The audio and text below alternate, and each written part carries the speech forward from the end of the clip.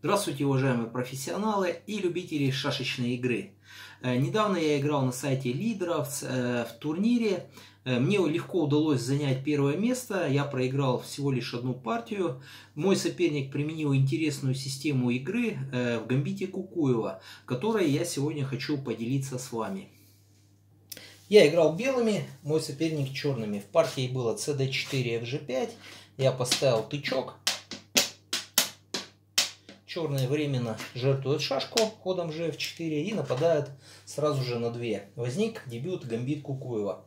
Белым правильно отдавать шашку именно таким образом. Ну и здесь есть два хода, либо hg3, либо fe3. Я сыграл в партии fe3. У черных здесь также есть несколько ходов. Можно b5 сыграть, d7 или cb4. Мой соперник ответил cb4. Далее в партии было ef4, ba3, pc3, b5, hg3, АБ6. И на ход GH4 здесь обычно играют BC7 и на GF2 DE7. Возникает э, закрытая система гамбита Кукуева. Я много раз разбирал эту позицию. Но мой соперник удивил меня и сыграл здесь DE7. Здесь я по инерции сыграл GF2. Э, и мой соперник ответил FE7. Я ответил DE3. Ну, получается позиция похожая вот на те системы, которые я разбирал, но здесь все совершенно по-иному протекает игра. То есть э, черные сыграли bc5, и я понял, что я проигрываю эту партию. То есть я в партии сыграл АБ2, но обратите внимание, что белые уже не могут сыграть FG3, как-то колоночку создать, потому что черные здесь нападают. Ну и надо закрываться, иначе черные грозят выиграть шашку. На ход CD4 они играют CB4. Ну и здесь у белых единственный ход ED, ED2. EF2 здесь уже проигрывает из-за комбинации. Простенькая комбинация, можете поставить видео на паузу и попытаться найти ее за черных. Черные отдают одну шашку, затем вторую, и затем шашка превращается в дамку и бьет уже как дамка. Белые ставят дамку, но она тут же ловится. И черные легко побеждают. То есть в этой позиции остается играть только э, EF2. На B2 играем BC3, ну и на CD2 тоже BC3. И неминуемо попадаем на поле C1 в дамке. После хода EF2 э, черный играет CB6, выжидают, ну и у белых единственный ход остается на жертвовать шашку. Затем они играют ED6. Ну, здесь есть выигрыши после BC5, двойного размена, постепенно черные выигрывают. Ну, мне кажется, более простой выигрыш после хода BA7. Теперь, если белые меняются таким образом, играем GF6, ну и затем либо э, FE5, либо FG5 с, легкой, э, с легкой победой. Если же белые, ну, видите, грозит угроза, BC5 отдать одну, выиграть две шашки. Если же белые играют DE7, Тогда размениваемся таким образом. Ну и после хода GH4 разменяемся вперед. Затем следующим ходом разменяемся еще раз. Ну и черные легко побеждают за счет лишней шашки.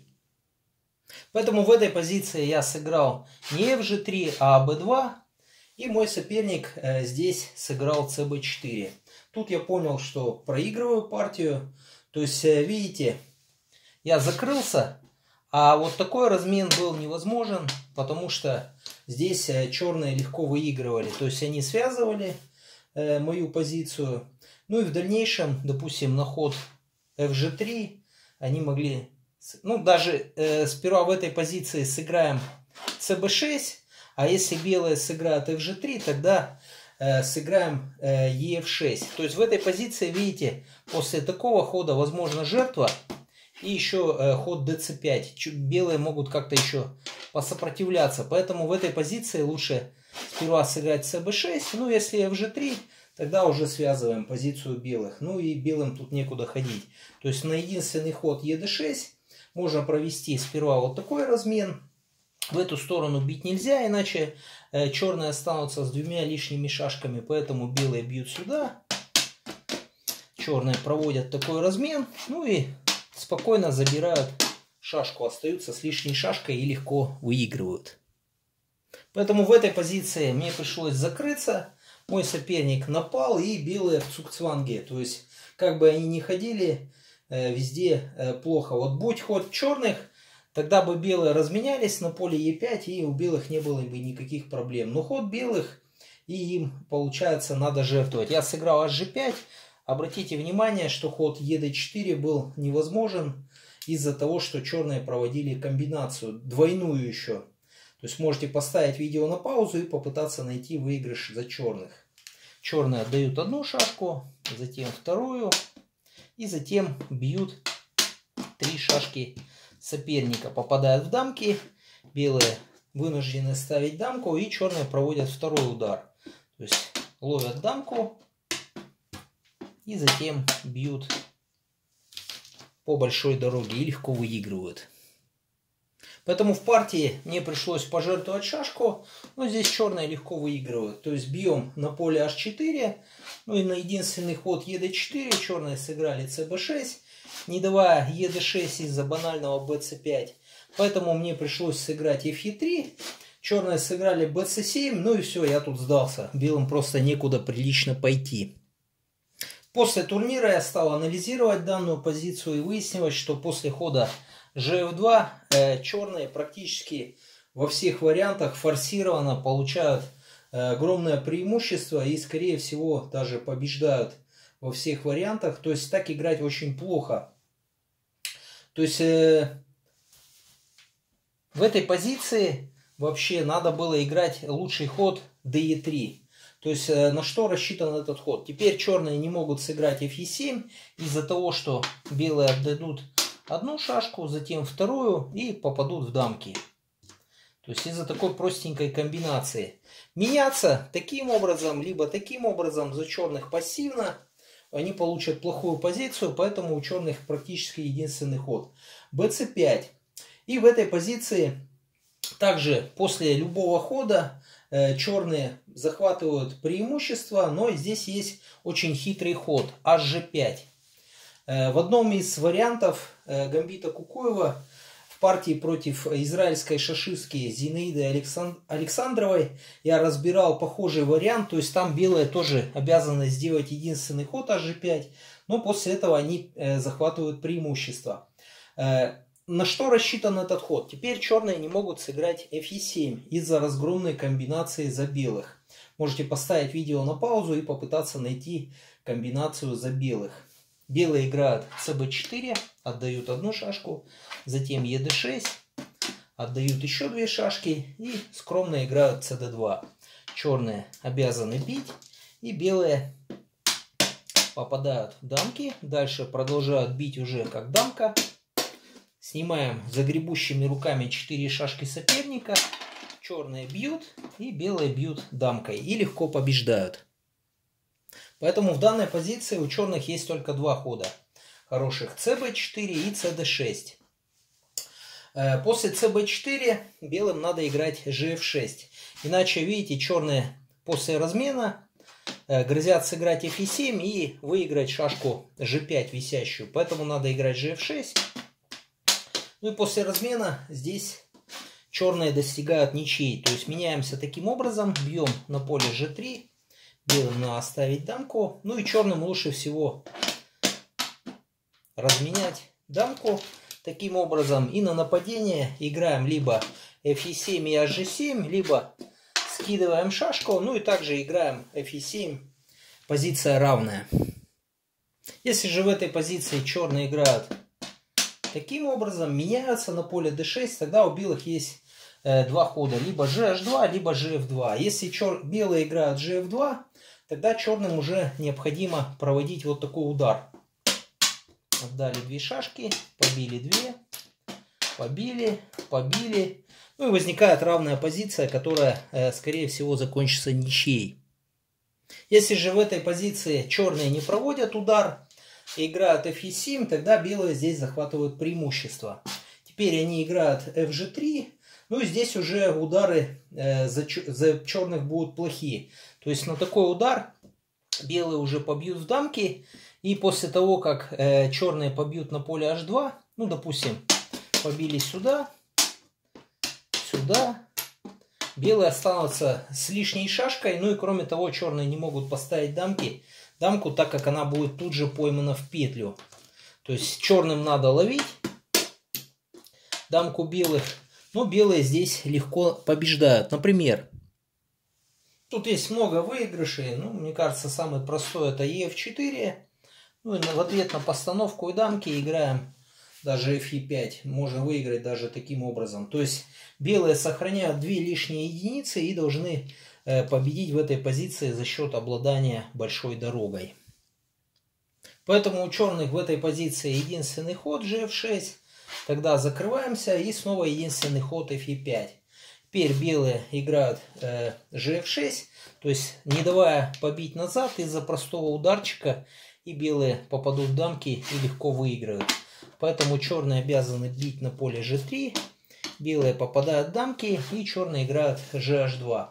В этой позиции у белых большое преимущество. То есть играем EF4, не давая ставить дамку из-за банального EF2, ну и куда бы черные не побили, у них проигрыш. Поэтому после этого хода э, черным надо нападать, единственный ход. Ну и белые играют либо дамкой на поле F6, либо HG5. Ну и владеют преимуществом в этой позиции.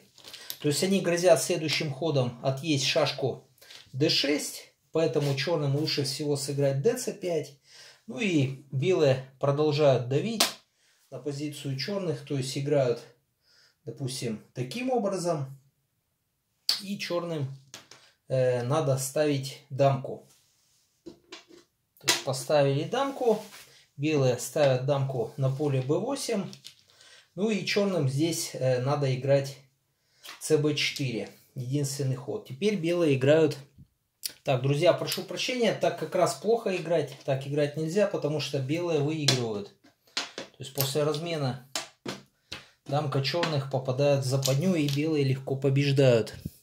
Поэтому в этой позиции не надо ставить дамку, надо нападать э, таким образом. Ну и после размена черные не могут поставить дамку, так как она будет тут же поймана, но у черных есть ход АБ4 очень сильный. И сильнейшее продолжение за белых это ход ЕД4. Ну и как бы черные не играли, э, белые здесь получают э, эншпиль с преимуществом. То есть если игра от АЖ7, белые остаются с лишней шашкой.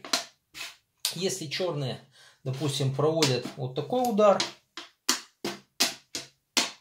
то здесь у белых э, есть небольшие шансы на выигрыш. То есть они могут, в принципе, провести все три шашки в дамке и за счет обладания большой дорогой попытаться выиграть эту позицию. Ну и, наконец, если черные проводят вот такой удар, в эту сторону бить бесполезно, из-за бт3 надо бить сюда. Теперь черные проходят дамки, ну белые тут же ловят дамку черных и в ответ на постановку дамки играют аж7. Ну и также у белых здесь э, эншпиль с небольшим преимуществом. Поэтому в этой позиции, друзья, на ход либо gf2, либо gh2 лучше всего э, играть вот таким образом, проводить удар. Ну, здесь у черных равная игра. Здесь вы ничем не рискуете. То есть, друзья, в этой позиции как бы белые не играли. То есть, GF2, там, AB2, EF2, все примерно сводится к тому, что черные затем сыграют э, BC5 и подвяжут э, центр белых. Поэтому так играть плохо. Еще хочу отметить, что после хода gf2 и хода fe7 э, в этой позиции после хода de3 и bc5 не проходила комбинация за белых. То есть белые могли провести вот такую комбинацию, отдать две шашки. Надо бить на поле g1. Затем, так, прошу прощения. Сперва отдаем одну шашку, затем еще две. Надо бить на поле g1. Ну и затем белые играют cb2. И проводят вот такую комбинацию. Шашка попадает в дамки и затем продолжает свой удар как дамка. Эта позиция проиграна, здесь есть выигрыш. После GH2 здесь какие-то есть шансы у белых, то есть они могут за захватить нижний двойник и как-то попытаться провести свои шашки в дамки. Поэтому в этой позиции лучше всего разменяться вот таким образом, даже не выигрывает шашку. Затем черные проводят вот эту шашку в дамке, затем эту, ну и легко должны победить. Белые, видите, здесь не могут провести свои шашки в дамке, а черные проводят три дамки и выигрывают. Вот так вот, друзья, благодаря проигранной партии я стал обладателем чужого шлифа. Ну и вы вместе со мной. Э, предлагаю вам поставить большой палец вверх и подписаться на канал, если вам понравилось данное видео. Поддержите мое творчество. Можете поделиться этим видео в соцсетях. Пишите ваши комментарии, задавайте вопросы, если что-либо не ясно. Отвечу на все вопросы. Э, друзья, давайте воевать только на шахматной доске. Играйте много, играйте честно. Увидимся на шашечных баталиях. До свидания.